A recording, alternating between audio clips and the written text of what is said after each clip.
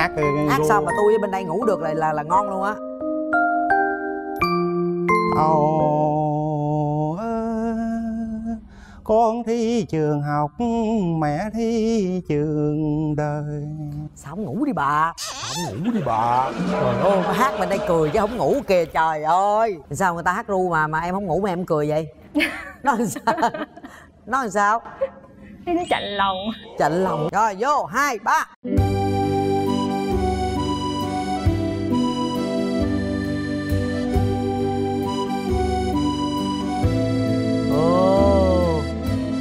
khoái khoái cười rồi. Ồ chỉ cần nắm tay chặt cho em say là được. Ok đủ rồi đúng không ạ? Chưa? Rồi được rồi. Có tiến bộ có tiến bộ có khả năng tiếp thu. À, không biết là nãy giờ là mình cảm nhận về nhau như thế nào? Dạ em thấy anh chịu khó chứ. Còn em cảm nhận về cổ như thế nào? Nói chung vui vẻ hoạt bát cái hòa đồng mọi người. Nhất là nụ cười nhất là nụ cười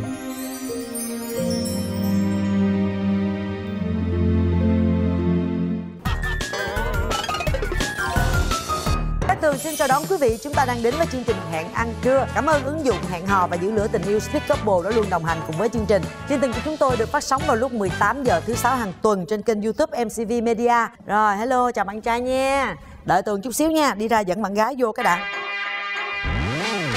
Rồi, có cái ghế bên trái, ngồi xuống nhìn chị luôn. Rồi, mời hai bạn tháo mặt nạ của mình ra nha.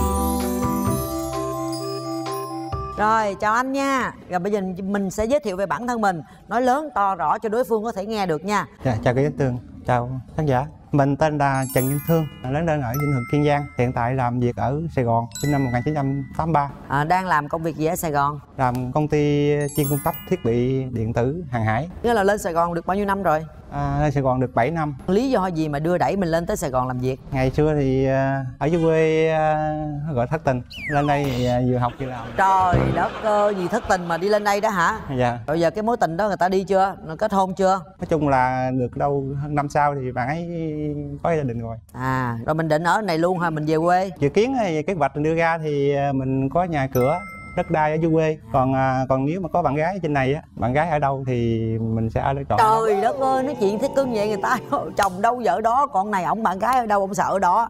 Được chốt chốt. Này cũng hiếm à này cũng hiếm à rồi Ê, điểm mạnh điểm yếu của mình là gì không thì biết quan tâm nhất là nấu ăn. Bạn gái càng ăn món gì mình nấu món đó cho ăn. Ghê vậy? Dạ. trời ơi biết nấu nhiều món không? Dạ nhiều. Ôi sao giỏi dữ vậy? Ờ, còn thêm là chăm sóc cháu. Mình tất cả 13 đứa cháu đều mình chăm sóc. Ủa cái gì 13 đứa cháu ghê vậy? Đâu mà 13 đứa cháu dữ vậy? Thì gia đình anh chị em đông lắm tổng cộng là chín người. Chín người? Dạ. rồi ai đẻ ra nhiêu con mình hốt hết về mình chăm sóc hết? À, qua nhà chị mấy anh chị chăm sóc rồi chiều rồi về nhà. À giỏi giỏi dữ vậy trời nấu ăn được luôn yêu trẻ con chăm sóc trẻ con được luôn. Nhưng mà hiện tại là em đang sống với ai? Đang sống một mình ạ. Sống một mình? Dạ. Rồi ba mẹ là còn dưới quê hay sao? Ba mẹ đều ở dưới quê. Chứ thời gian rảnh thì cứ lâu lâu chạy về nhà thăm ba mẹ. À, tết nhất rồi có về quê thăm ba mẹ không? Dạ có. Rồi nãy giờ đâu điểm mạnh không mà có điểm yếu nào kể nghe coi. Điểm yếu thì nói chung cũng có đối diện với người phụ nữ là nhút nhát không biết cách thể hiện. Còn nếu mà đối với người phụ nữ mà đối tác thì thì ok còn nói để người nào ấy thì... à đối tác thì cũng lanh lẹ lắm dạ. trong công việc phải không? Dạ. cái đúng đối tượng là nín phải không? Dạ. Rồi cố gắng lên ha. Ngoài ra còn có um, tài năng gì nữa không? Rảnh thì em hay đọc sách xem phim hoặc là đi chơi thể thao đá banh. Chơi thể thao đá banh nữa. Dạ. tưởng cũng khỏe mạnh dữ ha. Rồi đi chơi với bạn bè là chơi cái gì đi uh, bánh cầu lông tennis rồi. À. còn hoặc là đi uh, uống cà phê. Rồi uh, nãy nói cái đoạn mà chăm sóc cháu rồi có cái đoạn ru cháu ngủ không? Có thường xuyên hầu như là cháu đều ngủ. Vậy hả? Đâu giờ đang ngủ quá ru ngủ thử coi. Hát hát sao mà tôi ở bên đây ngủ được là là, là ngon luôn á. Âu dí dầu cầu giang đông đinh cầu che lắc lẻo, gặp gần khó đi. Khó đi, mẹ dắt con đi. Con thi trường học ồ con thi trường học mẹ thi trường đời. Sao không ngủ đi bà? Không ngủ đi bà? Trời ơi. hát bên đây cười chứ không ngủ kìa trời ơi. Hát vậy là mấy chín mười mấy đứa cháu nó ngủ hết trơn luôn đó hả? Hầu như đứa cháu nào cũng thấy cậu là qua là chơi đều thích. Sao người ta hát ru mà mà em không ngủ mà em cười vậy? Nó làm sao? Nó làm sao? Nó chạnh lòng.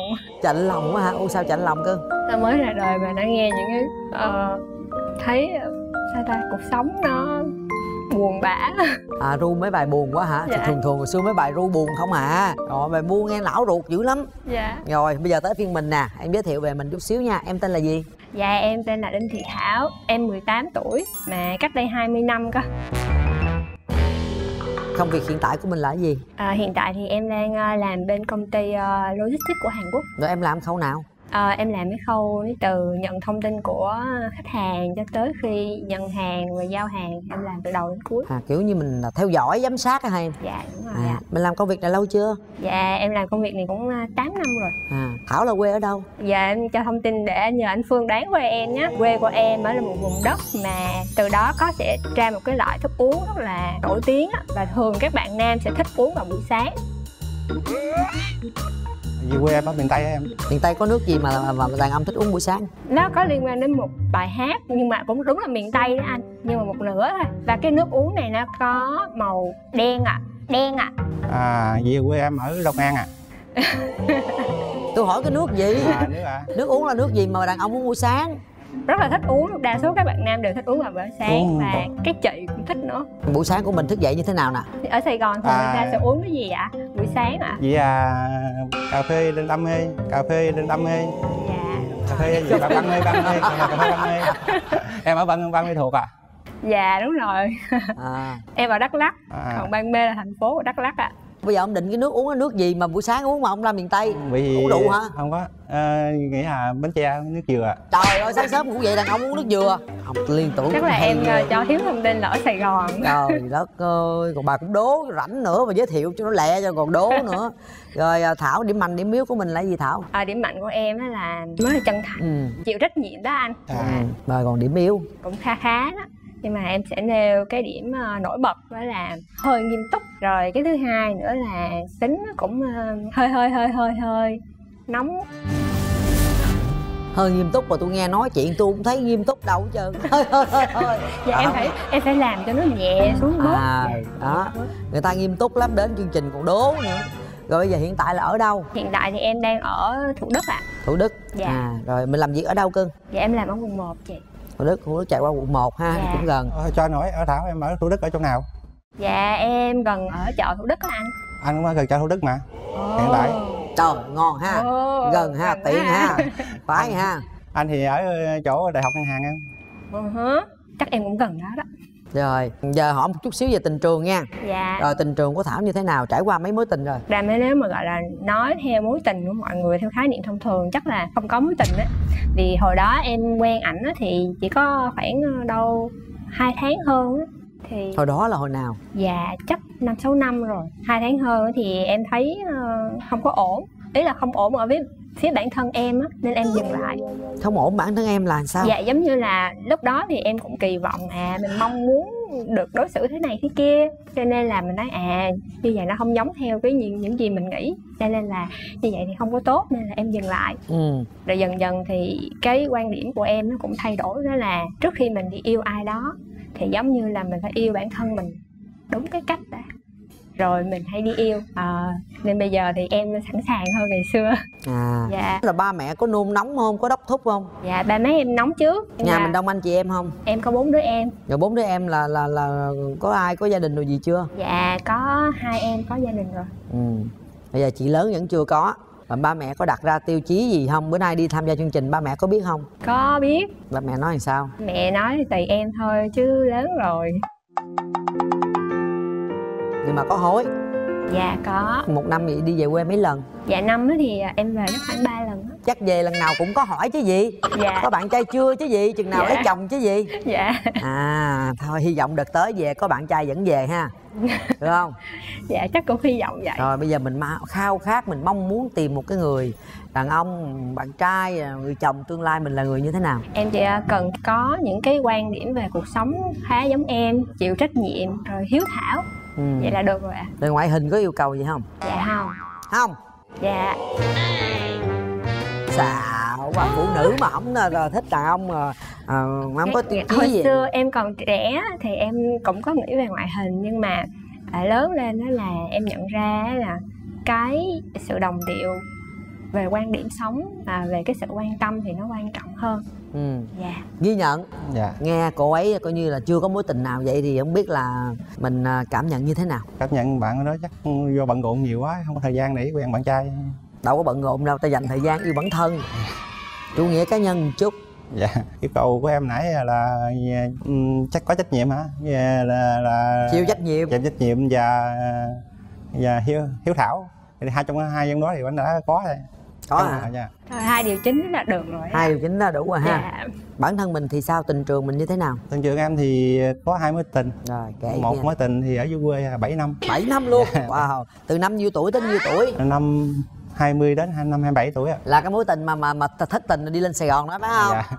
mối tình đó sao? Thất vậy? Kể nghe coi. À, thì tính định dặm hỏi qua cưới ở dưới quê thì nhà, nhà người lớn qua cưới hỏi á ừ, thì tuổi rồi dưới dạ. quê lấy vợ chồng sớm mà. nhưng mà bên gia đình nhà bạn gái không đồng không chấp thuận tại sao quen 7 năm rồi mà không chấp thuận? Em quen chỉ hồi xưa là quen bạn gái là quen qua thư thư tay qua lại thôi chứ không có dẫn về ra mắt. Người hai bên không không có biết nhau. Ủa cái gì 7 năm mà không có dẫn về lần nào dạ hết? không dẫn về cả hai hai người ờ, gia đình hai bên cũng không biết ờ, có bạn trai bạn gái nhau. mà bạn gái là ở đâu? Cùng quê hay là dạ khác?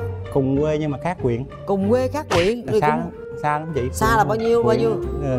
Sáu mươi mấy bảy chục cây số rồi. Trời ơi có sáu mấy bảy chục cây số mà lúc đó nhiêu tuổi mà 5 năm trời mà không đưa bạn gái về nhà không tới nhà bạn gái thăm. Ở dưới quê chỗ em ở thì xưa đó điều kiện không có đi được không có đường phương thông phương tiện đi được. Vậy sao quen cô đó? Vậy sao quen cô đó phương tiện ở ở đi đi phương tiện ở dưới sông thôi. Đi với xong dạ. Thì đi ghe cũng thăm nhau Dạ. được vậy trời? Chỉ là viết thư tay là, là qua lại không à. Đừng quen cổ trong trường hợp nào? À cô đó thì ờ, học mai ờ, ngay bằng nhà bạn học của mình. À. Rồi ờ, tết mình đến chơi á tình rồi gặp rồi quen nhau rồi xin địa chỉ nhà qua lại rồi viết thư trao đổi qua lại dần dần quen kéo mà trong năm sáu năm đó là gặp nhau được mấy lần mấy ngày tết ờ, ngày gặp nhau được một năm gặp được một lần. Nguyên năm gặp mấy ngày tết? Vậy tại sao mấy ngày tết không tới nhà chào hỏi gia đình ta? Bạn kia không cho à, không cho người biết ờ, nhà dâu nhà giáo. Vậy là chưa có thương nhau rồi chứ quen năm sáu năm mừ rồi cái là lúc mình mình cầu hôn là bên đó không đồng ý là Dạ. chia tay luôn. Dạ đúng ạ. Là thất tình là buồn quá rồi đi lên sài gòn lên luôn. Sài gòn rồi đi học. Lên sài gòn mối tình thứ hai bắt đầu. Thì mối tình thứ hai thì ờ, học xong đi vô phòng công ty bên ngành hàng hải á. Thì, thì trước khi đi thì ờ, quen trong zalo chào hỏi sơ sơ rồi ờ, thương đi công tác ở ngoài trường sa. Đi cũng khoảng gần ờ, gần 2 tháng không có liên lạc được. Vì ở ngoài không có sóng điện thoại không có liên lạc được kia về cho đất liền. Rồi ờ, công tác được hai tháng thì mới về đất liền mới, mới tìm lại thì bạn bạn kia chắc là hỏi sao mà quen nhau mà hai tháng không có nhắn tin qua lại. Đó mình đầu diện giải thích. Bạn kia nói là giải thích ừ, không thỏa đáng ừ. nói ở đâu bây giờ không ở đâu hiện tại giờ mà không có sống? Anh Ừ. ở ngoài nhà vàng ở trường sa ngoài có sống đâu. Mà bộ trước khi đi không nói cho người ta biết hả? Có. Trước khi đi có nói đi ra trường sa chưa? Có đi trường sa công tác ngoài đó trường sa nhưng mà em không ngờ ở ngoài không có sống. Không, à không có sống điện thoại. À. Thì à, giải thích chỉ à, nhắn tin không được không không hầu như không sống không nhắn được. Có chỉ là trong quân đội là đánh mật mã gửi về thôi trong đơn vị thì có. À. còn điện thoại hầu như gia đình là không liên lạc được. Phải không? Dạ. Để tôi đi nghiên cứu lại vụ này à. Tôi tôi cũng có chị ờ, bạn chị cũng mới đi ngoài nhà vàng về. Thấy chị cũng đăng hình post facebook rần rần kìa cái đó bây giờ mới có bây giờ có à, gắn thiết bị à, à còn lúc đó là bao lâu bao lâu rồi? Mấy năm rồi? năm 2014 15 thì à 2014 2015 là cũng lâu rồi ha. Rồi bạn gì trách này nọ đủ thứ hết trơn rồi xong mình giải thích thì cô ấy nói mình à, biện hộ. Ừ. Rồi mới chia tay rồi mới chia tay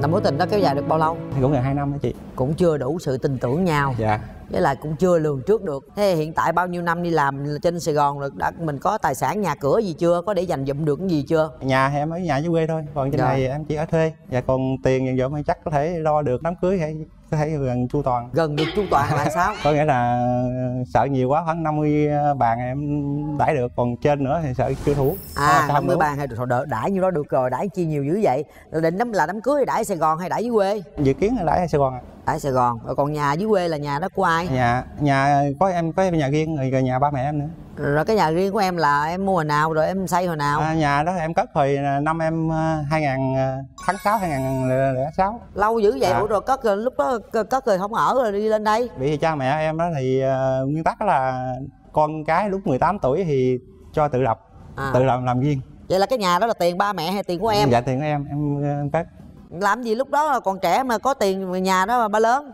Ở nhà dưới quê nhà cấp 4 hả chị? Nhà, nhà có chỉ bề ngang ờ, bốn mét rưỡi dài 11 mét à à. Nhà cấp 4 thôi là không có lầu? Dạ không nhà cấp 4 thôi à rồi xây cái nhà ra để đó để không vậy đó để tới Dạ. giờ vậy đó. Để rồi xong rồi cái dự chù để lập gia đình để lập nghiệp á mà à, hiện giờ nhà đó có ai ở không? Không nhà đó có chỉ ba mẹ lâu lâu rồi qua dọn dẹp thôi. Coi như phụ thôi rồi. Rồi giờ mình muốn tìm một người bạn gái như thế nào? Em thì ờ, rất dễ Giờ em chọn bạn gái ờ, kiểu khuôn mặt ờ, ưa nhịn chút nếu mà đeo kính thì càng tốt. Em thích phụ nữ Ủa, đeo, vậy? đeo kính chút xíu nữa mở cái cửa để tìm ra một cái kiến đeo vô. Bởi vì em sợ phụ nữ không có kính em nhìn vô em thấy ánh mắt phụ nữ buồn em không cầm không cảm xúc được không? Ủa ta đeo kiến trắng thì nhìn vô mắt nhìn vẫn xuyên qua kiến vẫn thấy mắt buồn vậy? Không không nhìn chắc thật không không đeo kính chị. À vậy lát nữa đi Dạ. mua tặng cho cổ cái kiến cô đeo nha. Giờ kiến mát cũng màu trắng giống kiến cận mà. Và còn điểm thứ hai thì biết quản lý ờ, tài chính gia đình là được. Là mai mốt là giao tiền cho vợ giữ hay gì? Dạ. Đúng rồi. À là phải cần vợ phải biết quản lý tài chính gia đình đúng không? Dạ. rồi bây giờ thì dì tường à, à, sẽ cho hai bạn đoán nhau thử nha. Trước khi dì tường mở cửa trái tim này ra đoán coi hồi nãy giờ mình đang ngồi nói với cái anh đó với cái cô đó như thế nào. Rồi cho dì tường mượn cái điện thoại em ơi. Trần văn thương 39 tuổi. À, có ba bốn anh thương lẫn lật đi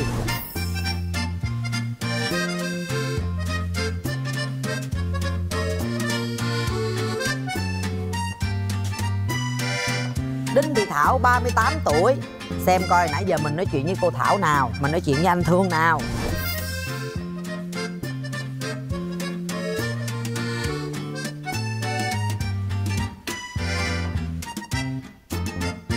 Một anh, hai anh, ba anh Bốn anh. Trời tôi nhìn đây mà tôi còn chưa thấy anh nào là anh đó luôn á trời. Em đoán anh này. Tại sao đoán anh đó? Dạ anh có cái nét của miền tây Cái nét miền Tây hả? Mà sao tôi thấy anh chụp hình này ở núi rừng chứ có phải miền Tây đâu? Nhiều khi anh đi anh đi Lên Đắk Lắk anh chụp á dạ Phải không? rồi. Rồi để yên có đi có phải không? chất á ạ. Rồi bên đây cô nào là cô Thảo? Trong ba cô có mỗi cô đeo kính là mình thích người đeo kính nữa chứ. Trời ơi thích người đeo kính nữa ha. Giờ chọn ai? Em chọn bạn này đi. Chọn bạn đó phải không? Rồi chọn bạn đeo kính ha. Và bây giờ xin mời quý vị hãy nhìn về cửa trái tim Để xem sự đoán của mình ngày hôm nay có đúng hay không nhé. Tan tan tan tan em. Dạ anh. Giờ nó đáng sai thật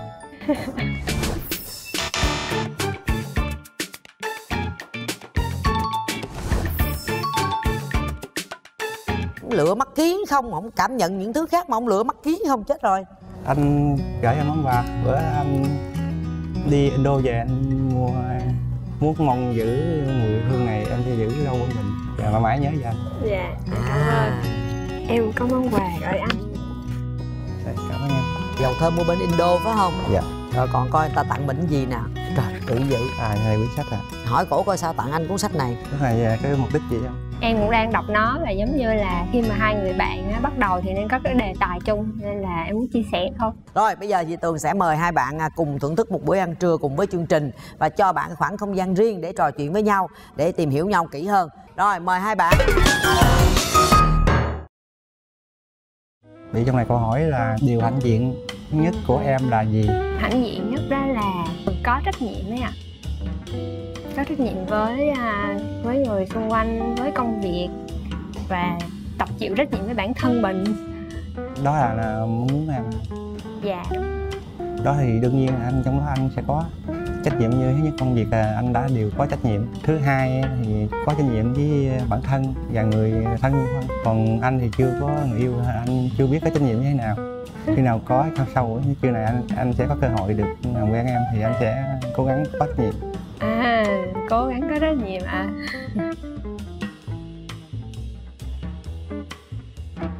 ở đây cái câu của em thấy là theo anh thì ba yếu tố chính để tạo nên một mối quan hệ là gì ạ? À mơ nghệ ba ba em đọc lại. Ba yếu tố chính để tạo nên một mối quan hệ. Ờ, yếu tố chính dạ. Thứ nhất là có duyên. Có duyên đến nay mới gặp nhau mối quan hệ. Thứ, dạ. hai, thứ hai là hợp tính với nhau. Và thứ ba thứ ba nếu mà muốn được cả hai điều đó thì cả hai cho nhau cơ hội mới mới mới làm được hai điều trên.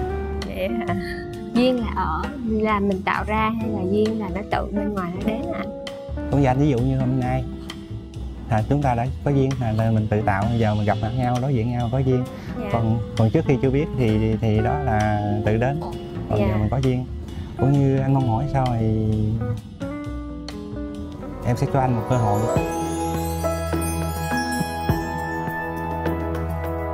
Dạ. được, cho anh cơ hội được ờ, như anh nói anh hy vọng em sẽ cho anh một cơ hội để thử, thử thức những các món anh nấu. Em cũng trông mong nè thật sự là anh anh rất muốn nấu cho một người cho một người nào đó ăn nhưng mà nhiều năm rồi anh chưa cơ hội. Anh chỉ tự nấu bản thân anh ăn thôi. Dạ ủa vậy món sở trường của anh là cái gì? Dụ nấu cơm trong gia đình cho cho trong gia đình ăn á, thì ok. Dạ. Còn à, sở trường anh chỉ làm bánh thôi. Bánh á. Bánh nè ừ. ờ, bánh những loại bánh gì anh? Bánh ngọt hay bánh mặn hay như thế nào? Ừ, hầu như em em muốn ăn bánh nào anh làm bánh đó. Muốn ăn bánh nào anh làm bánh đó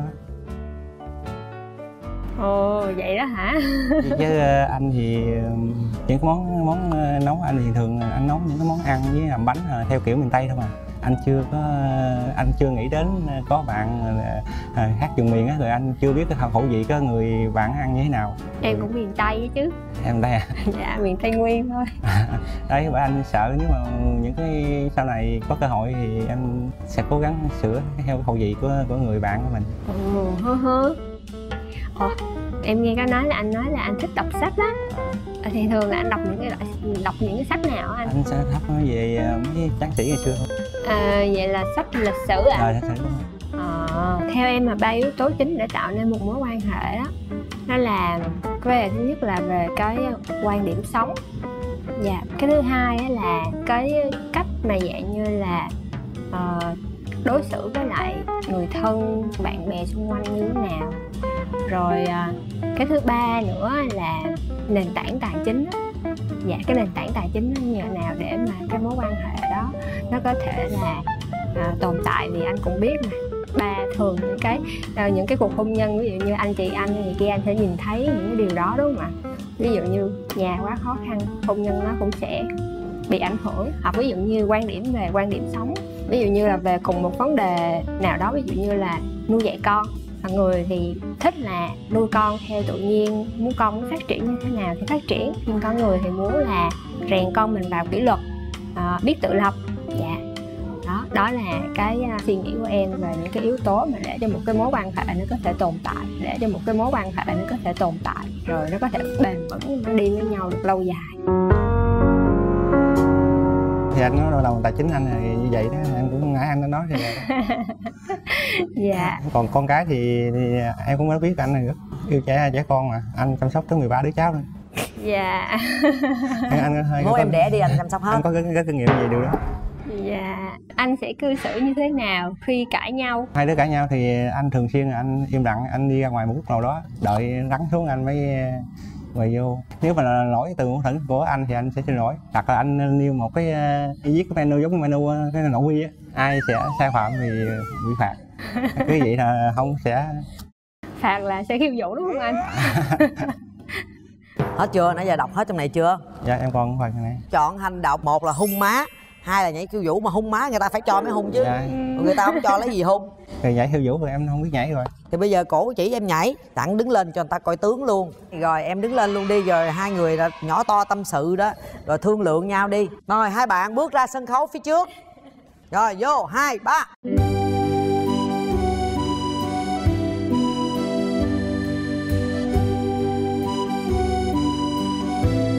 Ồ oh, khoái khoái cười rồi. Ồ. oh chỉ cần nắm tay chặt cho em say là được. Ok đủ rồi đúng không ạ? Được chưa? Rồi được rồi. Có tiến bộ có tiến bộ có khả năng tiếp thu. À, không biết là nãy giờ là mình cảm nhận về nhau như thế nào? Dạ em thấy anh chịu khó chứ. Còn em cảm nhận về cổ như thế nào? Nói chung vui vẻ hoạt bát cái hòa đồng mọi người. Nhất là nụ cười nhất là nụ cười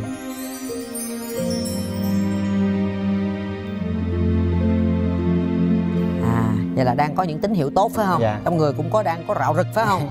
À, à, nãy giờ là mình khiêu vũ với nhau rồi nhưng mà nãy khiêu vũ là mình lên đó là cái chương trình đưa ra cái gọi là cái thử thách cho mình ha. Còn bây giờ là chỉ dành cho hai bạn à, một cái phút thời gian cuối cùng để mình cảm nhận được nhau à, nghiêm túc. Giống như em nói là em là một người nghiêm túc vậy đó để mình còn cái lời nào mình muốn chia sẻ thì mình sẽ chốt luôn. Để mình còn đưa ra cái quyết định cuối cùng là bấm nút hay không, mời hai bạn nắm tay nhau qua cánh cửa trái tim này, nhìn thẳng vào mắt nhau 30 giây thôi, rồi mình sẽ nói cảm xúc cũng như suy nghĩ của mình dành cho đối phương, rồi chúng ta mới đưa ra quyết định, được chưa ạ?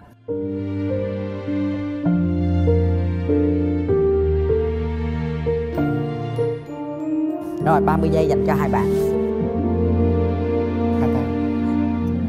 Một nửa của anh thì đến đây thì đã tự nguyện được gặp được em. Còn à, em thì một nửa thì phụ thuộc vào em. À, mong em cho anh cơ hội để tìm hiểu chúng ta đi tiến xa hơn. Em thấy ở anh à, cái sự chân thành rồi cũng yêu quý gia đình giống như là một người người cha như thế nào là chưa biết nhưng mà là một người cậu một người chú tuyệt vời đó. Có thể là dành thời gian chơi với cháu. Rồi cảm ơn hai bạn thì bây giờ đến lúc là các bạn đưa ra cái quyết định của mình nha. Cơ hội thì chương trình đã mang lại cho các bạn cái duyên để gặp nhau tại đây. Nhưng có nắm bắt nó hay không là quyền của các bạn nhé lưu ý nha, đặt tay vào chính giữa trái tim. Sau 3 tiếng đếm của chị tường, đồng ý bấm bấm cái cốt lõi của nó thôi. Đừng có bấm cái song sắt ở ngoài, nó không có lúng đâu. Nhớ nha. Rồi, không đồng ý, có quyền lấy tay ra. Đồng ý thì nhấn mạnh và nắm bắt cơ hội ngay và luôn. Mời hai bạn nhắm mắt lại.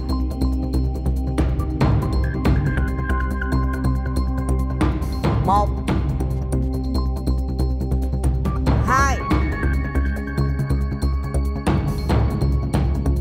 Và ba.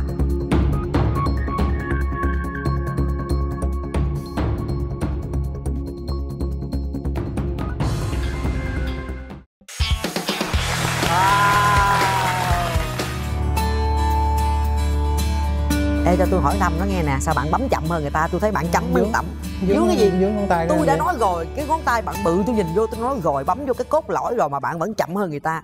Lần sau về là về làm bản kiểm điểm nha. Mời em qua đây nắm tay cổ đứng lên bây giờ là mình là một cặp đôi rồi. Mình hát chào kết chương trình một cái cho nó tình cảm coi chứ mình ru con ru cháu hoài chưa đâu. Từ từ về rồi từ từ mới có con. Anh xin mời em đi về miền quê xa lắc lơ Quê hương anh có dòng sông họ có dòng sông xanh có dòng sông xanh có hàng câu hò thâm tình dân tộc. Anh xin mời em đi về miền quê xa lắc lư quê hương anh. Tự tự nhiên quên cái quên lời vậy cả tôi hiểu tại sao mà ông ru chín đứa cháu mười mấy đứa cháu ngủ hết rồi. Nó nghe nó sợ hãi quá nó nhắm mắt nó ngủ cho lẹ đó hiểu không? Sợ ma quá à. Ru sợ ma quá à. Ok mai mốt biết đâu vợ cũng sợ mới ru cái vợ ngủ liền. Rồi chúc mừng hai bạn nắm tay nhau thật chặt nha. Hôm nay chúc cho hai bạn là sẽ có nhiều niềm vui. Chúc cho hai bạn có những cái thời gian hẹn hò với nhau tạo cho nhau cái cơ hội để tìm hiểu được nhau nhiều hơn. À, các anh chương trình ạ.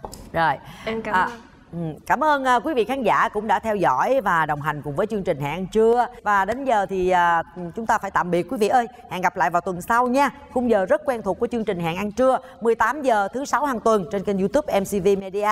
Và một lần nữa cảm ơn ứng dụng hẹn hò và giữ lửa tình yêu speak couple đã đồng hành cùng với chương trình. Các tường xin chào và hẹn gặp lại quý vị.